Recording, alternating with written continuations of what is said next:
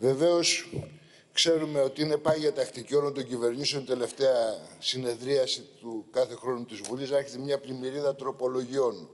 Και θα θέλω να ρωτήσουμε τόσο την κυβέρνηση όσο και το Προεδρείο αν θα έρθουν και άλλες τροπολογίες. Υπουργικές και πότε θα έρθουν αυτές. Και δεύτερον, το ΚΚΕ επίσης ζητάει να τοποθετηθεί η κυβέρνηση αλλά και το Προεδρείο της Βουλής εάν θα κάνει δεχτές ή θα βάλει σε ψηφοφορία τις τροπολογίες του ΚΚΕ. Και βεβαίως ζητάμε να τοποθετηθούν και τα άλλα κόμματα είτε διαμέσου των εισηγητών είτε των κοινοβουλευτικών εκπροσώπων για τις συγκεκριμένες τροπολογίες.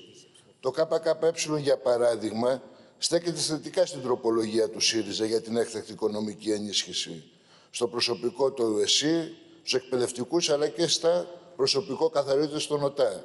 Παρά το γεγονός ότι θεωρούμε ότι με έκτακτα επιδόματα δεν αντιμετωπίζουν τα προβλήματα, αλλά ότι θα πρέπει να υπάρξουν γενναίες αυξήσεις στους μισθούς και στις συντάξεις, επαναφορά του 13ου και 14ου μισθού και σύνταξη. Τώρα δεν είναι Όπως- διαδικασία όπως που κάνετε. Ολοκληρώνω. Όπως Ε, ναι, καταγράφεται κλείστε το, όμως στην δεν είναι τροπολογία του διαδικασία. Συνοψίζοντας, Ναι. συνοψίζοντας λοιπόν κύριε Πρόεδρε, θέλουμε από την κυβέρνηση και από το Προεδρείο του Βουλή να μάθουμε αν θα επιτρέψει να μπουν στην ψηφοφορία οι τροπολογίες του ΚΚΕ και να τοποθετηθούν και εκπρόσωποι των άλλων κομμάτων στις τροπολογίες του ΚΚΕ.